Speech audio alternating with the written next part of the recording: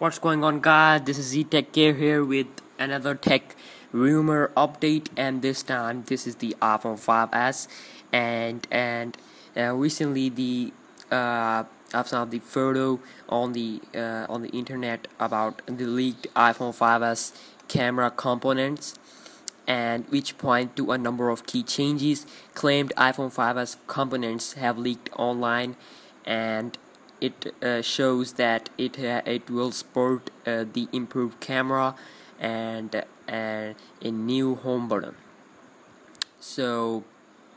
as the internal bounds on the iPhone 5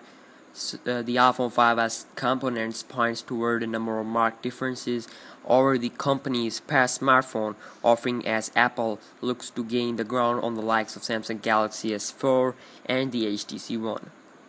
According to the latest leaks, the claimed iPhone 5s components shows that the handset will make the jump to a new larger sensor forward facing camera or front facing camera with the handset facing uh, handset's FaceTime enabling Snapper to rival the 2 megapixel offering uh, found on the likes of the Sony Xperia Z. So we will see the quality of the 2 megapixel camera uh, 2 megapixel front camera which will be uh, coming with the iPhone 5s according to the rumor as well as an improved back camera. The leak component has also pointed at the revised physical home button making the cut apart and the next generation handset uh, elsewhere a dual head vibration motor has hinted that the Apple smartphone could offer improved reactive feedback to users manufacturing partners and suppliers are reportedly entering the first stages of iPhone 5s production in preparation for widely expected iPhone 5s release date in September. So, looking on to more iPhone 5s rumors, shrouded in much rumor and speculation, the mooted iPhone 5s is strongly believed to be a heading for release later this year as a direct iPhone 5 follow on expected to feature the same form factor as its predecessor. The iPhone 5s has been tipped to benefit a faster quad-core processor. And yeah, we have seen the dual-core processor of the Apple, and so far the dual-core processor has uh,